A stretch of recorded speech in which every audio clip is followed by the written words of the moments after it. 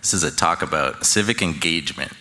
And uh, civic engagement, we like to talk about reaching out to not the usual suspects and going to the margins and trying to get those people involved. But what about the usual suspects who are just overlooked? And they're always there, but we just don't listen to them. And so when we had our National Day of Civic Hacking event in Portland, uh, we try to reach out to some of these people too. And I met a lot of them over the past few years. There's Lisa from the bus stop. There's my friend Wanda, who made us Puerto Rican chicken for our benefit dinner to, for Puerto Rico. And, uh, and then there's Mark. And I want to talk about Mark.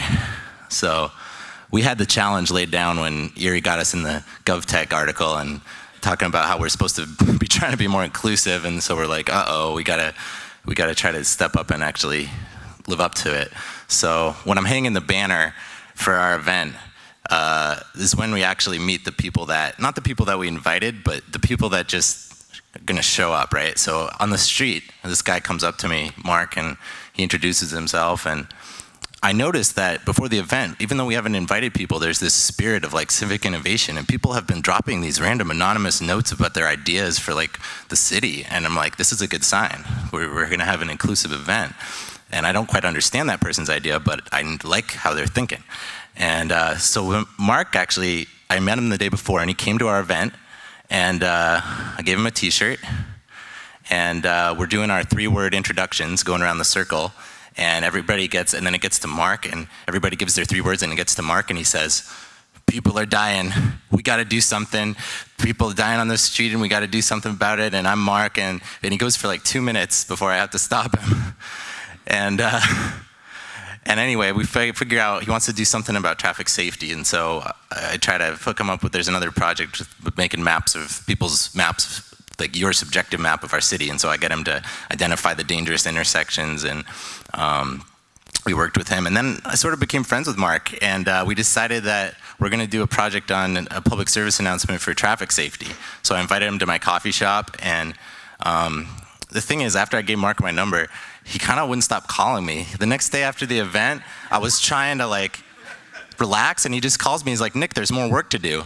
And I get kind of excited because he's like a civic engagement dream. And so my ego's getting a little big and I sort of feel like Tom Cruise in Rain Man. And I'm like, you know, I'm going to be a star. And I'm a big civic designer and I'm going to help everybody. And Mark's going to be my poster boy. Um, and I'm like, then I'm like, you know, is this, this feels wrong. I don't know about this.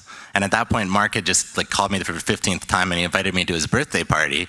And I was about to go to his birthday party. He wanted to go to the pizza place and then the bar and then the other pizza place and then the club and then the other pizza place for the third time. And I didn't know if anyone was going to show up. And I was about to go and I was just like, you know, this might be crazy. I think I'm getting ahead of myself. I'm getting carried away. But the truth is that it wasn't about me at all. Mark had a plan for me when he introduced himself. And you know, he's a he's a usual suspect. He goes to city council meetings and he sits in the front row and he always gives a talk. And so when I got to the party, it wasn't just me and my carried away idea. Like Mark was there, and actually all these other fans of Mark were there too. I didn't know if anyone else would be there, but I actually started to meet everyone else that had met Mark uh, randomly. And they were kind of like me. there were people that were kind of like me, like this guy Travis from the pizza place. And um, I was like, oh, I see how it is. This is Mark is bringing me onto his team, and um, and so I, I, was humbled a little bit. And then we had the best day. We were walking around Mark's birthday, and uh, everyone's honking and saying hello. And I did I mention that Mark's actually a crossing guard? So this whole idea about traffic safety is like from his experience. He's a pro. Um, and so, yeah, he's kind of a VIP. So he, we got the VIP treatment when we were walking around. Everybody, everybody loved him. Um, and uh, yeah, it was a great day. But um, anyway, so actually, you know, he was he was had a plan all along for me, and he wanted to get me my attention and get me to give you this message. Hang on a second. Hey, uh, I'm, uh, I want to thank you guys for listening to me. Is very to do my job. A free job for the city. I've been doing that job since, since 2016. I'm trying to do that job on the things. If you got questions, please give me a call. Uh, they've been important. I'm doing my school course. Important things. Hey, Mark, you, you said you asked me if I could play some music. So what music do you want to hear? Uh, how about Tina Turner? What the lady said, gonna do. All right, this is Tina Turner. What what's love got to do with it? And thanks for listening. And I'll see you back home, Mark, and we'll keep working. All right, see you, Mark. Love you, buddy. Later.